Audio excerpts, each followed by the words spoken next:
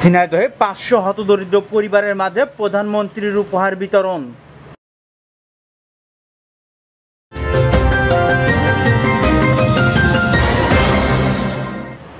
ঝিনাইদহে পাঁচশো হতদরিদ্র পরিবারের মাঝে প্রধানমন্ত্রী দেওয়া উপহার বিতরণ করা হয়েছে।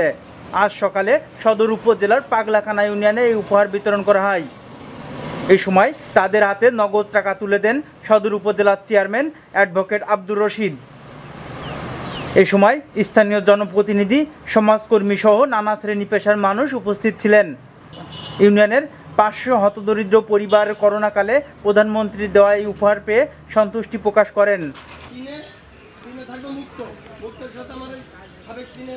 সমাপ্ত ঘোষণা করছি। এবং টাকা সুষ্ঠুভাবে নেবেন যে যেখানে আছেন বসে থাকেন। আমাদের টিভি নেই হ্যালো দেন, হ্যাঁ ঠিক আছে।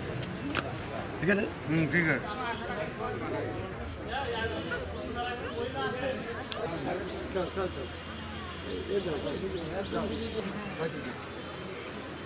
আমার টাকা তো পাবে না।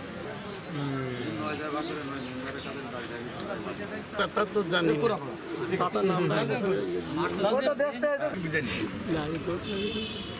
না।